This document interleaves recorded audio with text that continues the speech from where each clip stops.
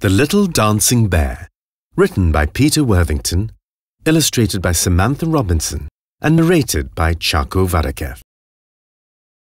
The little dancing bear loved to dance for people all around. In return, people came from far and wide to watch him perform. When his act was over, people threw money onto the sheet that lay on the floor in front of him. After a short rest, he would begin again. He seemed such a happy bear. He didn't go to school like other little bears. He just danced and played his bells all day. But the people in the crowd did not know the truth. When his day was over, the little bear went back to the lair where he lived with other bears under the watchful eye of the bear master and handed over all his earnings. When the weather was bad, people would not stop to watch. On those days, he would not earn very much. The bear master would fly into such a rage he would send him to bed with very little food. One day, after a big storm, the little dancing bear went to his usual spot and began to dance and play his bells. People gathered, but there was something wrong. The little dancing bear was hungry.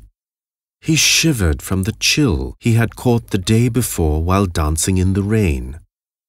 A fever set in, and he could not perform.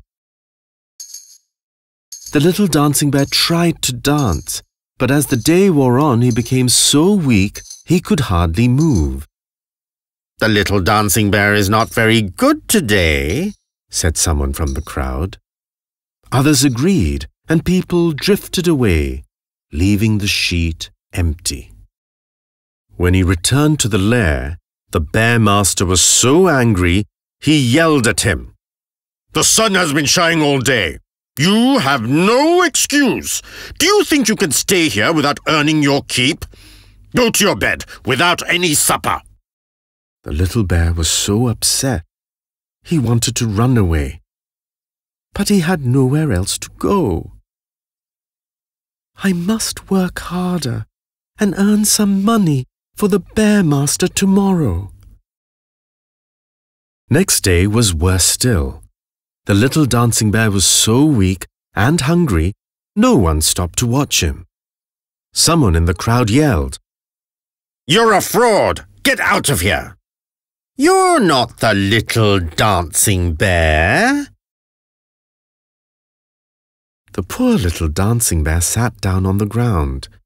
He could no longer dance. If only I had some food, he whispered.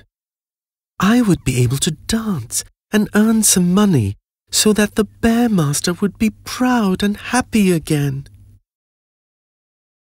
That night, the little bear did not go to the lair. He was so afraid that the bear master would beat him in anger, as he'd earned no money that day. He crept around the city, scavenging from the garbage bins outside restaurants. Angry dogs chased him away from the bins. They did not like bears stealing from their patch. Once away from the dogs, he found a spot under a bridge and lay down to sleep. The rotten food he had eaten made him sick, and the next day he could not get up. Two workmen found him lying under the bridge. What are you doing here? My tummy hurts. Please, let me rest for a while. He lay under the bridge, feeling ill and very ashamed. He could not earn money for the bear master. Who would want to watch a thin and filthy bear that could not dance? As the days wore on, the little dancing bear earned just enough to buy food every other day. He dare not scavenge from the bins after he had been so sick.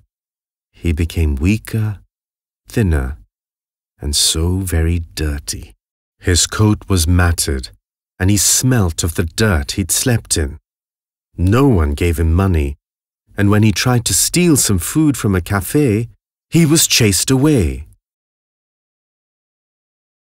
That night, as the little dancing bear lay under the bridge, he cried himself to sleep.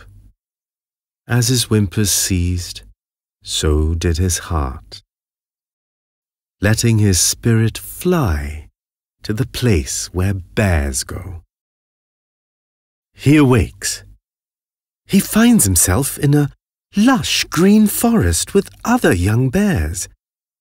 There is no bear master here. He is happy and he is free.